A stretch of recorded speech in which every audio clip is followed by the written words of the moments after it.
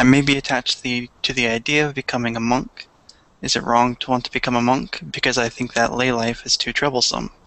I can't find anything worth pursuing as a layperson.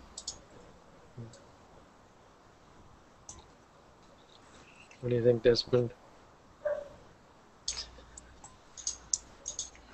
Um, I think is I think it's um, I guess as you say it's possible to become attached to some idea you have of, of what it will be. Um, but whether it's wrong to want to become it, I think that depends on what your reasons are. If you have the right reasons, um, you know, clearly, then uh, then it, it, you know it won't be wrong to to want it for or to you know understand those reasons and pursue it for those reasons. There's this big um, discussion about running away that goes on where people say, and you hear often, becoming a monk is just running away. That's a criticism that non-Buddhists level at monks. It's also um, a caution that uh, even monks will give to people thinking of ordaining. That uh, if you're just running away, trying to run, becoming a monk to run away from your problems, you're not going to get very far. You know, this uh, story that I just translated, uh, padang, suffering follows you. Your suffering, your the results of your bad karma follow you, like um, the wheel follows the hoof, hoof of the ox that pulls the cart.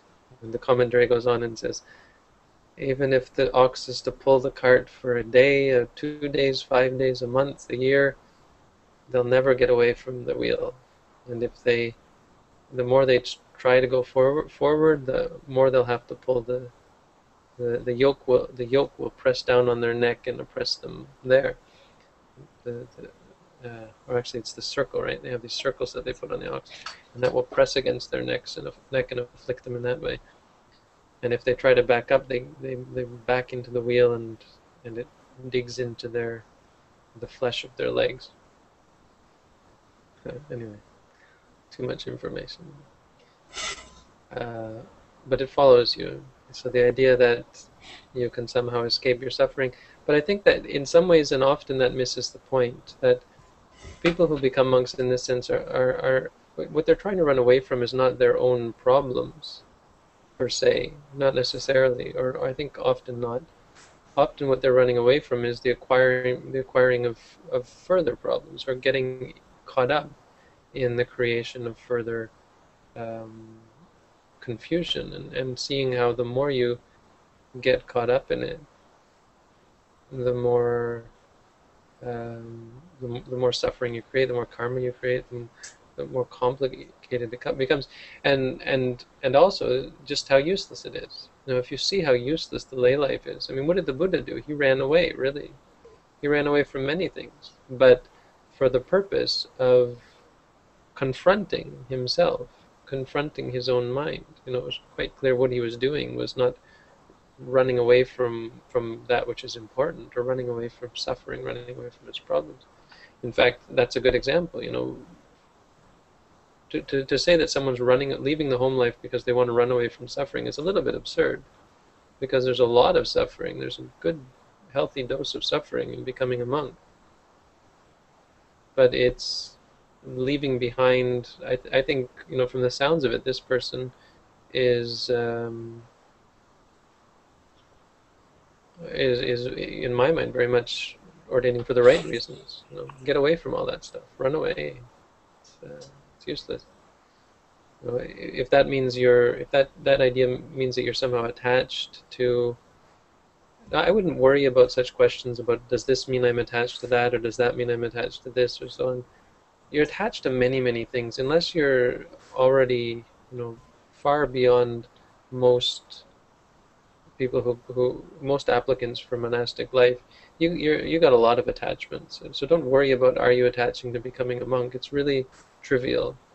You know, do you have lust? Do you have hatred? You know, do you have addiction to things? Do you have ego and conceit and, and, and arrogance and so on? Much more important. That's where you should be focusing. If if becoming a monk means eh, for you the indulgence in the attachment to becoming a monk, I would say, you know, really that's the least of your concerns. Unless you're already free from all the other ones, then you you might say, wow, you know, at this point in my spiritual practice, I really uh, have to work on my attachment to, to the monastic life because it's such a you know it's like the attachment to to, to humor or something or the attachment to things which are attachments but um, you know far far too subtle to be concerned about um, and so for the most part people who ask these sorts of questions about being attached to meditation for example you know I really think I have to or do you really think it's good for this person to be meditating so much it seems like they're attached to it I'm like that's the least of their concerns, really. If they've still got greed, anger, and delusion, yes, let them attach to meditation for a little while longer anyway. So, I can't speak highly enough of, of, of monastic. What I would say is that I have been very, very much attached to the monastic life, and I, I'm, I'm willing to admit that.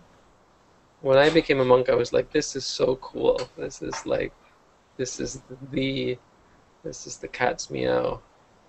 It was really, you know, just the bliss of, of being able to ordain is just wonderful. I mean, of course, it was intense suffering, and it, it has been intense suffering in many ways, but you know, just because of how difficult it, it has been. But the fact of being a monk is just so wonderful. Uh, so I can understand that. I can understand the, the, the, the, the concern that it might be there. I just don't say that it's really the most important thing. It can grow into ego and conceit, and it does. You know, people, when when people become monks, they can be very conceited, arrogant, think they're teachers, think think they know everything.